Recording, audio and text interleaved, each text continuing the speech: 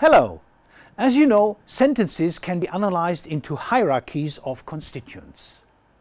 This unit introduces the central motivations for constituent analysis, the underlying terminology, and the historical development of phrase structure systems from 1957 until today.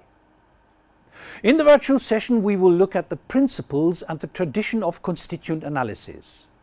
This includes the discussion of constituent tests and the underlying terminology. As usual, if you don't know where to start, use the question sheet and the hyperlinks in it to be guided through the virtual session. The mastery worksheet is an identification task where you have to find given syntactic nodes within local trees. With the virtual session in mind, this shouldn't be problematic at all.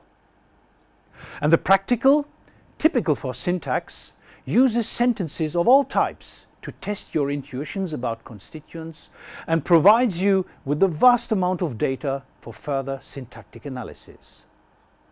The whole unit is fairly complex, so please make use of all its options.